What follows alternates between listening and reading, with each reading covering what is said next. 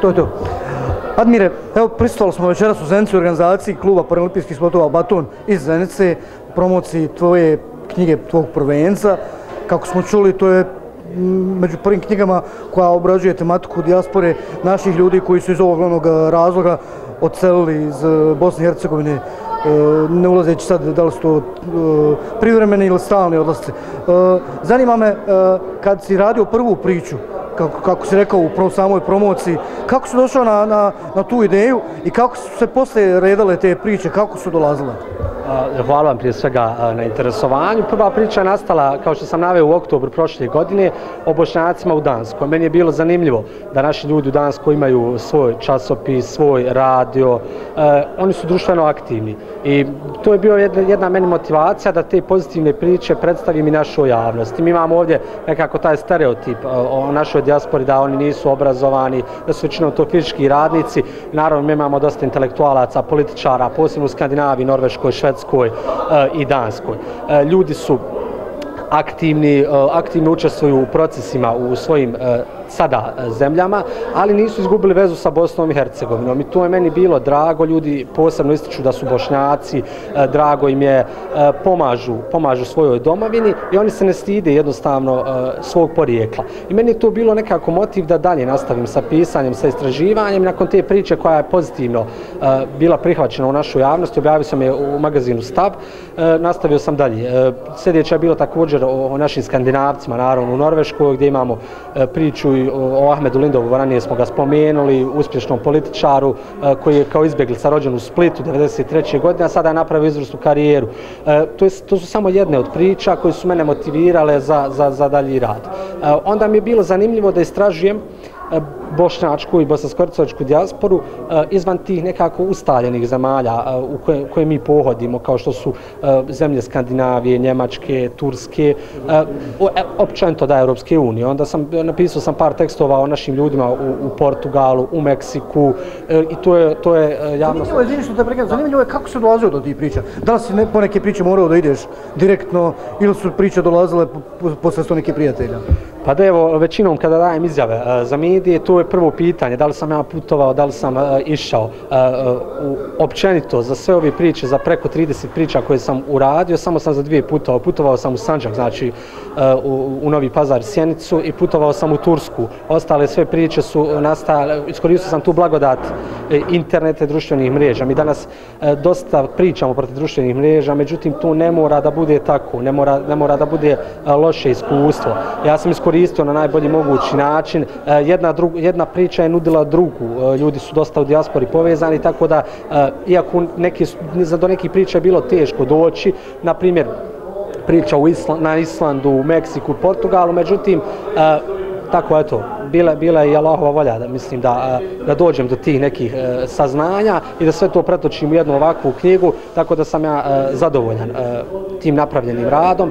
Nisam puno putovao, međutim dokaz da se ne mora puno ići s kraja na kraj da bi se uradila ova jedna knjiga, evo dokaze dokaze napisano djelo. S tim da ova knjiga može da bude i iz domena istraživačkog novinarstva, što pretpostavljam da jeste. Da li su sada, kažem, pod navodnicima apetiti ili neke ideje za neke nove knjige i neke nove neke ideje da se nešto novo radi na, na, na nekom sličnom planu? Da, pa ja sam se naravno, naravno iznenadio sam se reakcijom. E, prvo, kada je, kada je održana prva promovaca u Sarajevu, mediji su propratili regionalni mediji kao na Dole, Al Jazeera, Balkans, propratili su ovu promociju. Meni kao mladom e, autoru sa 26 godina to je e, bio dodati vjetar u lijeđa da istražujem te, inače te priče. Znači, E, tokom studiranja interesovala me naša emigracija, danas dijaspora, e, spojio sam ta svoja interesovanja od, od 1945. i 1992. E, različite su razlozi zbog, zbog čega su bošnjaci išli. E, također posvetio sam pažnju odlascima za vrijeme Austrougarske od 1878. posebno nakon 1900 1908. E, nakon uh, aneksije, sve sam to sabrao i došao sam do istraživanja da su ljudi uh, nisu nisu iz uh, nekog svog hira odlazili, već jednostavno što su morali. Da li iz ekonomskih razloga, da li zbog ratnih stradanja, ljudi su boreći se, bojeći se za svoj opstanak napuštali e, teritoriju Bosne i Hercegovine, ali bošnjaci nisu gubili svoj identitet i to me posebno raduje. I evo za kraj, Akos kao izdjelač, e, Sanadin, Sanadin Voloder kao glavni odgovorni urednik, e, i večeras Samir Ismić, predsjednik KPS Baton. E, zanima me tvoji utise, kažeš da ti je ovo četvrta promocija bila u Zenici, druga u Bosni i Hercegovini. Kako su tvoji dojmovi, kako, kako se večeras ovaj, doživio ovu malu salu sa puno ljudi? Pa evo, ja sam mislio da je to mala sala, da međutim ovdje preko stotinu ljudi e, stalo večeras, e, iznenadio sam se. E, iskren da budim, e, nakon promocije u Sarajevu koja je dobro, e, očekivao sam da će dobro proći, zato što je to moj rodni grad, zato što je e, Akus kao izdavač domaćin u tom gradu. Poslije promocije u, u Rožajama, u Crnoj Gori i, i u Novom Pazaru, u, u, u srbijanskom dijelu Sanđaka, fantastično su prošle. To je meni već bio neki znak da, da, da ima interesa za ovu knjigu da ne trebam podcjenjivati ni, ni sebe kao autora, ni, ni imati male apetite. E, večeras u Zenici ja sam očekivao, e, znajući e, kako Amir Ismić organizuje udruženje Baton, kakve su njihove promocije, ja sam znao da će to biti odlično, međutim iznenadio sam se prepunom salom, iznenadio sam se repertoarom koji je urađen i općenito o strukturom, strukturom ljudi koja je došla na promociju. Imamo znači od nekih najmlađih srednje životne dobi ozbiljnih ljudi, tako da e, mogu reći da sam e, do sada možda i na, čak i najviše zadovoljan ovom promocijom. E, iako sam se nadao da će ta nekako u, u Sarajevska promocija biti najupečatljivija, ova u Zenci e, je do sada, pa mogu reći, i najprofesionalnije i najbolje organizirana. Dalje, što se tiče promocije, e, evo, bili smo znači u Bosni i Hercegovini dvije promocije u našoj domovini, u domovinskim zemljama također dvije promocije. Sada, e, ako Bog da, 24. E, novembra, e, promocija je u, u džamatu e, i u kulturnom centru Ikre u Minhenu.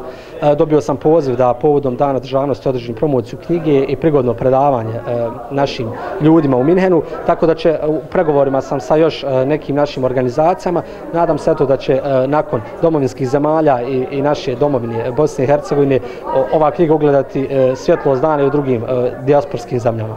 Mi ti želimo mnogo uspjeha i ako Bog da se sretnemo ponovo na što skorije na nekoj novoj promociji tvoje knjige. Hvala vam puno, također želim.